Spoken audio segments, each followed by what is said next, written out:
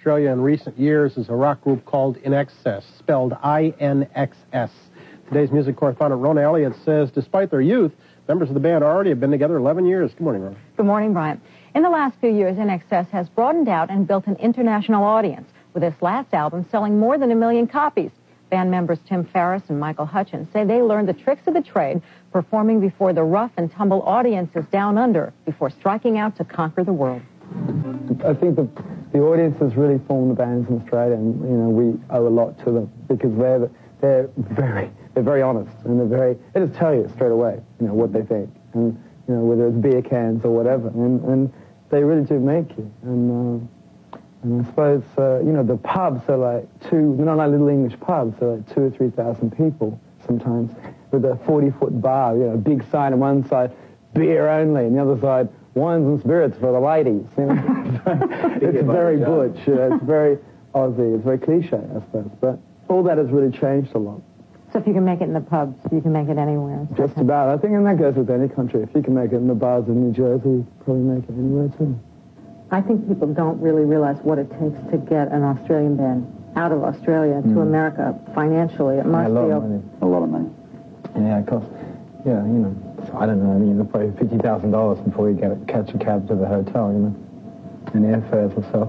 Yeah, a lot of bands, you know, that's why a lot of bands you won't see because they just don't have the money, you know. I mean, we just went, I went to the bank and somehow got a loan.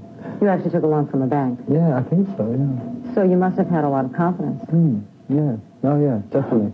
Well, if it didn't work, Hopefully- we just weren't going to go back. I was looking at some of your old videos, and I noticed some of the earlier ones are so innocent and kind of young, and the recent ones are much more sophisticated. Not so innocent. Not so. We've all grown up and become, you know, we- we've sort of grown up apart. You know, we're all different people. We've grown to men, if I dare say, and um, and at the same time, we've we somehow gained this way of working together. Half of this band is made up of the three Farriss brothers. Now, is that unfair? Is it weighted in your favor It's unfair to you go- parents. They're doing what? All of them? Now, what's it like for you, Michael? You're, you know, you're looking over and there's three Farriss brothers.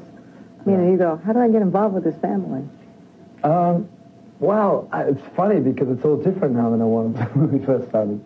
I mean, back then, you know, 14, Right. 15, 16, 17, 18, 19, whatever, it's a big difference. when you are that age, you know, two years, because it's your little brother, you know, it seems like It does make a a big gap. But then when you, you know, when you say 28 and the guy's 26 or whatever, it's not such a big gap anymore. Mm.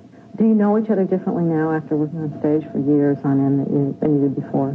I think we know each other very well. It's, it's a responsibility to know somebody that well. You can make them feel really good or really bad in 15 seconds. That's the bottom line. I mean, it's like any relationship, marriage, whatever. INXS currently is touring the U.S. in support of its sixth album, Kick, which right now is number four in Billboard magazine's top 10. Brian? Okay, Rona.